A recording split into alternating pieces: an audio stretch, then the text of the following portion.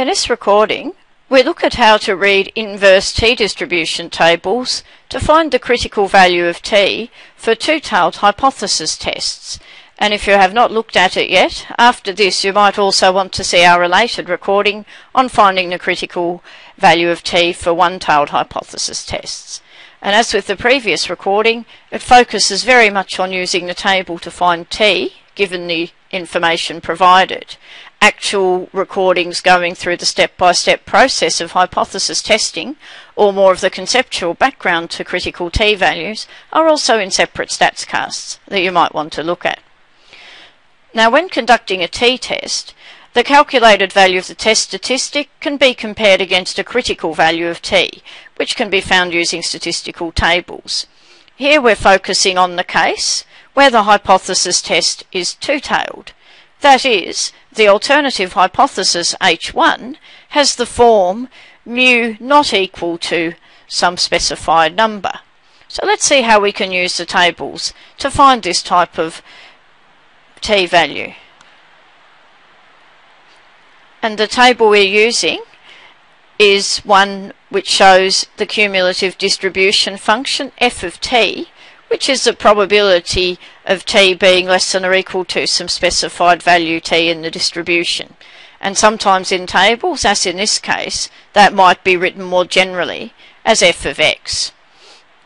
Then across the row we have values of f of t, while down the column we have degrees of freedom, which is sample size minus 1.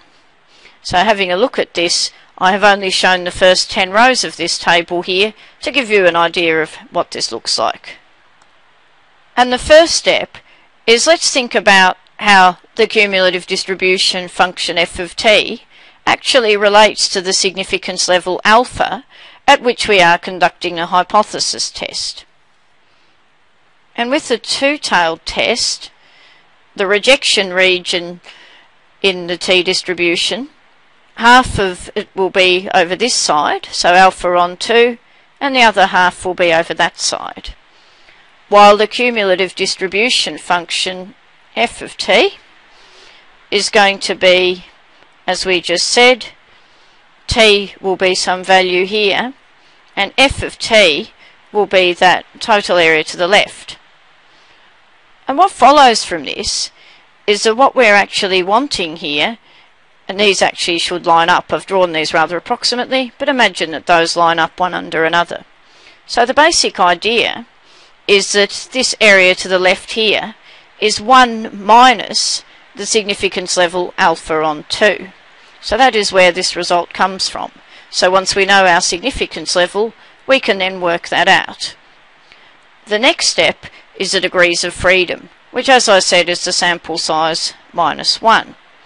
And finally, the corresponding value in the table will then give the magnitude of t.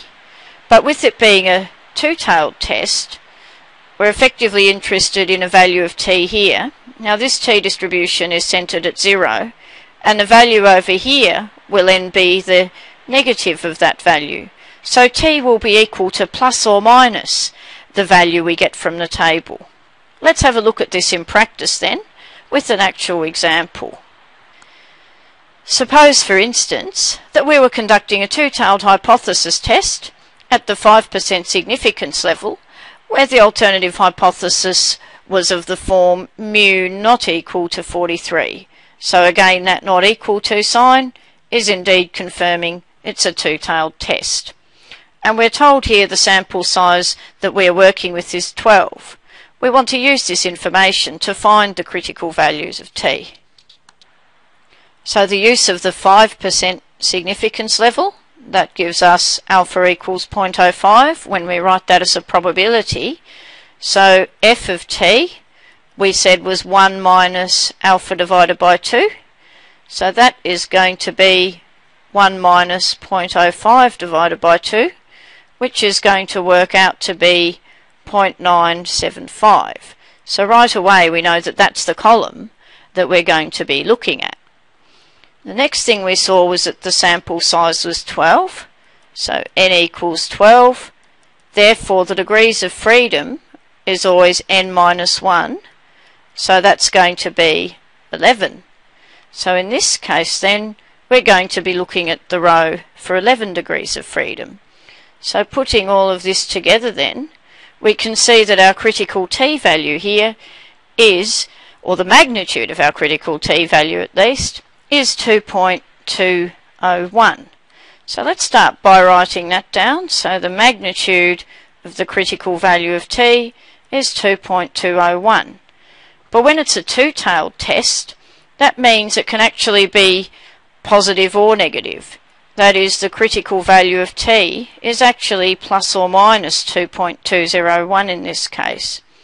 And if you look at that visually, just a very rough sketch of a t distribution there, centered at 0, we've then got alpha equals 0.05, so we've got 0.025 in there, 0.025 in there, representing our rejection region in those two tails, so that if our t statistic observed when we actually do our hypothesis test is either greater than 2.201 or less than negative 2.201, it will lead us to reject H naught.